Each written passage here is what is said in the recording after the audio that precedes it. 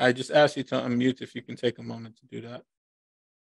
Hi, yes, I'm here. Um, I I have been um, a practicing Muslim for a year now. Um, I go to the masjid, I pray, I do my five daily prayer. However, I've never taken the Shahada. Oh wow. you know, I, I meet people like that from time to time. They fast Yeah. the whole month of Ramadan. They be doing their thing. They do the thing from top to I- bottom.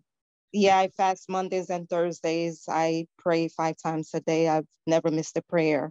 Subhanallah. So, um, but I've never taken the Shahada. So I want to embark on this opportunity just to go ahead and take the Shahada and, you know, be complete. Well, Georgina, you're in the right place. You know, God don't make mistakes. God don't make He doesn't. And uh, you know, we don't believe in coincidence. We believe in qadr. Yep. so God put everything right where it's supposed to be. We're gonna talk about what that word is. Don't worry, guys.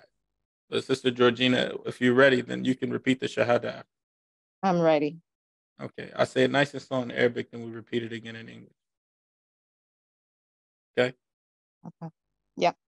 Ashhadu Ashadu an la an la ilaha ilaha il il Allah Allah wa wa ashhadu ashad anna anna Muhammadan Muhammadan Rasul Rasul Allah.